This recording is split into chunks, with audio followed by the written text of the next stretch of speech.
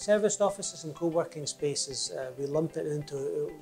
one sector. Uh, so the, the serviced offices uh, was really born out of uh, uh, individuals, um, uh, entrepreneurs, small and medium-sized enterprises uh, wishing to be housed in a space, a collaborative uh, and economic space whereby they were sharing ideas, sharing ideas from different sectors and undertaking their, their, their projects uh, uh, in a dynamic space.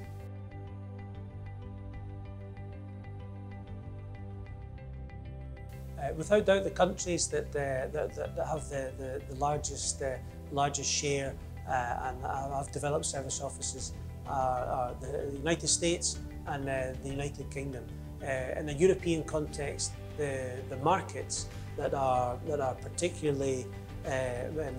have, have taken serviced offices and co-working um, further than anyone else, but without doubt London and Amsterdam. London, for example, has approximately 5% of the office stock is, uh, is, is, is, is, assigned as uh, to, to uh, serviced offices, co-working space, and approximately in central London, a bit more than 20% is, uh, is uh, the, the absorption figure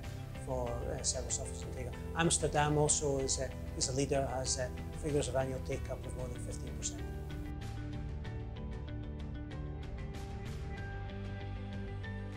In Colliers International, we, we're projecting that the, the next 10 years is going to be very exciting for, for co-working service offices, uh, particularly in Madrid and Barcelona, where we think the, the national stock figure will, will, rate, will rise from 0.4%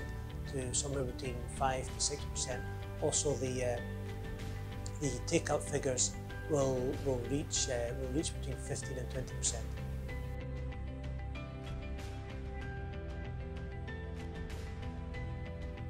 Interestingly, what we're seeing at the moment in London is that the, uh, the propcos and the, the, the, the REITs are transforming buildings or part of their spaces to offer uh, flexible working spaces on shorter leases, which obviously the, the lease lengths in the UK tend to be for much longer, 15 years upwards. Uh, this is something uh, that's a, a, major change in the tendency, and we're seeing these we're seeing these entities offering uh, offering much more flexible space.